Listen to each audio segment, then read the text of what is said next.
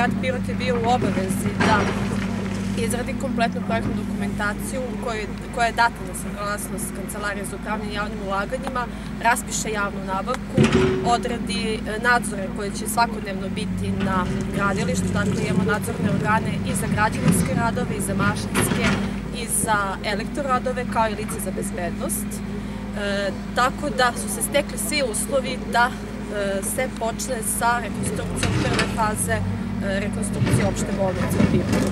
Nažalost, to se dešava u vreme epidemije korone, ali e, ćemo koncipirati takvu dinamiku radova. Već smo i dogovorili sa nadzornim organima i sa izvođačem rada da apsolutno nećemo remetiti ni u kom smislu rada opšte bolnice, njihovih pacijenata i da ćemo sve mere bezbednosti na gradilištu e, koncipirati tako da nema nikakve opasnosti ni po radnike koji će biti ovde, ni po, naravno, pacijente i započene bolnici.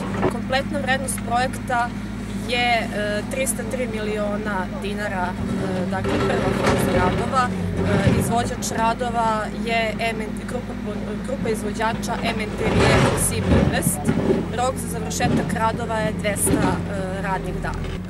Ono što je jako bitno je da u drugu, drugu fazu planiramo da započnemo dakle, proceduru izrade projektne dokumentacije za drugu fazu planiramo u 2021. godini koja će e, se odnositi najviše na unutrašnje radove koji će biti mnogo teži za, za samu konstrukciju jer će e, iziskivati e, izmeštanje e, pacijenata sa sprata na sprat kako bi mogli da funkcionišemo.